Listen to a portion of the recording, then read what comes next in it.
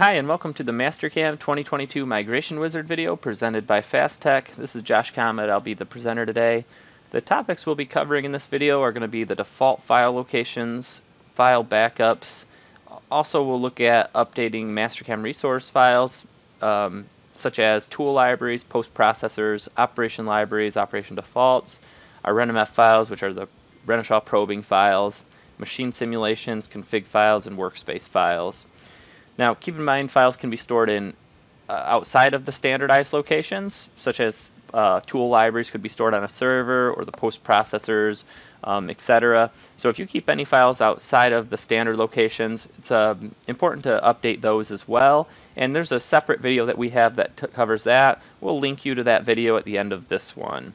So for the for any files stored uh, outside of standard locations that we'll be covering in this video, you can review our our more advanced video that talks about those types of updates. All right, well, let's dive right in. So first off, we're going to go ahead and open up our File Explorer, and we're going to swing over to our Documents folder.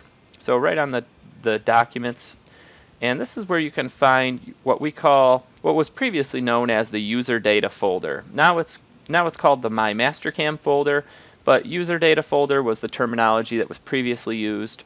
And when you launch your Mastercam, typically you will find that location right under File Configuration on the Files page, and this is where you can view which data path it's using.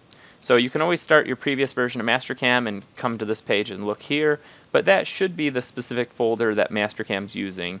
And as mentioned, this previously was known as the user data folder. Now it's listed as the My Mastercam folder. And what this file is going to contain is things like your config file, your workspace file, uh, your simulator defaults file, which is which is what your verify settings open up with. Um, so jumping right into this config folder, you can see we have both of our both our inch and our metric config files. This is where all your um, your settings related to your background colors and your editors and things of that are located. You also have your workspace file. This is where your toolbar settings and your right-click menu settings are located.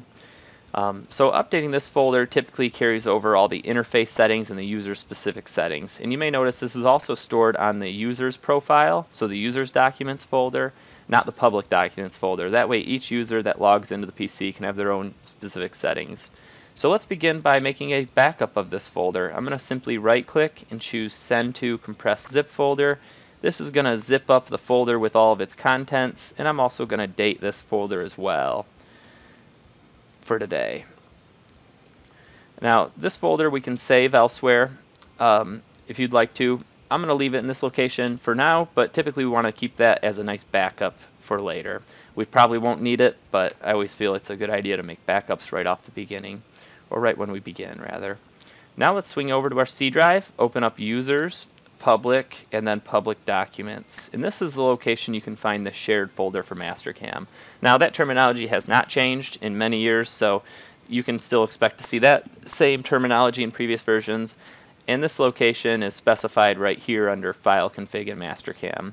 So that standard location, C users, public, public documents, shared Mastercam 2022 is where we can typically expect to find all of our shared related files. And those are the name for that folder is um, is typically, in my opinion, decided on because this is where you this is typically where you'd share, or this is typically the folder you'd want to share with other users. So this folder contains all the files that most users would want to share, things like tool libraries, post processors, operation libraries.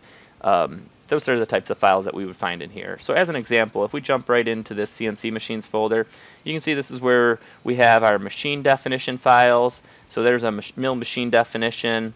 We also would be able to find our, our wire machine definitions in here, our router machine definitions, um, among the control definitions as well. There's a, a lathe machine definition that I'm looking at right here. So you'll, you'll be able to find all your different machine and control definitions typically in this location. Now keep in mind users have the ability to store these files elsewhere as mentioned previously, but these are the standard locations that we typically would expect to find them. So if we swing back here to the shared Mastercam 2020 folder and jump into mill post, this is where we would find the PST or the post files. Now the post files are what typically generate the G-code for Mastercam. They can have a couple different types of file extensions. You can find PSTs, PSBs, but it would typically just be a good idea to update the entire folder. All right, we'll also, if we jump back into the mill folder, we can find our tool libraries in the tools folder. Just like under shared Mastercam 2021 lathe, we have a tools folder as well for the lathe tools. Um, and then we also would be able to find our operation files in there too, such as operation defaults and operation libraries as well. Okay, well, let's go ahead and make a backup of this folder. I'm going to just simply right click, choose send to compressed zip folder. And this zip folder I'm going to label with today's date as well, and this will back up for um, for use in case we need it later.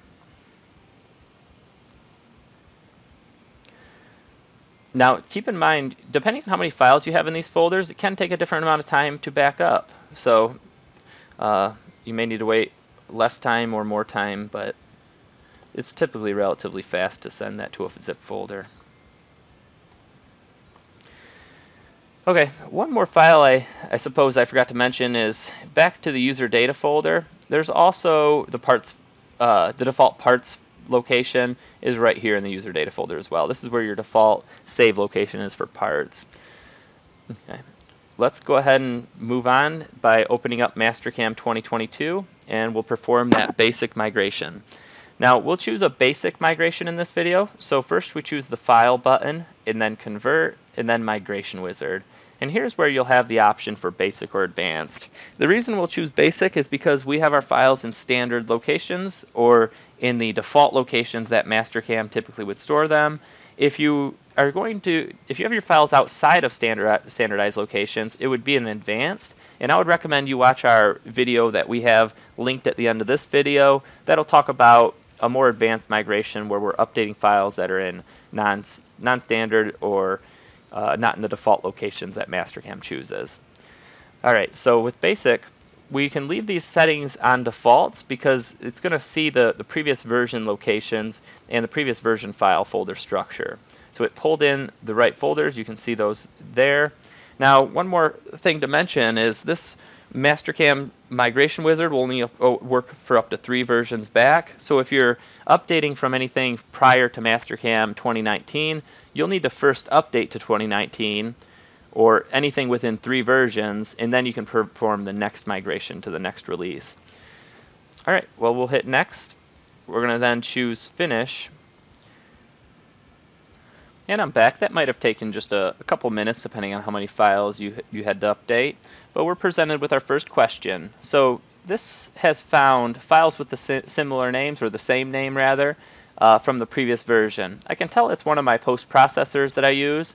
So I, I would rather keep um, I would rather let that update and replace the new version of that file. So I'm simply going to choose apply this to all subsequent conflicts.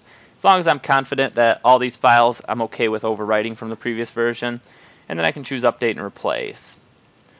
And that's going to go ahead and move on to the next step. And this may take a few more minutes. And we're back. So that process may take a few minutes to complete depending on how many files you have in those folders. Uh, at the end, it'll say, do you want to see the results? And we can typically choose no. And that completes the migration. You can then simply go to your machine tab, load in whatever machines you want using mill manage list. This is where typically they will, they will list out whichever ones we might have. I'll just add a couple. And then you can do the same for lathe, mill turn, and whichever product, other products you might use. Well, I hope this video is helpful. If you uh, if you need some assistance or running any problems, feel free to reach out to us directly.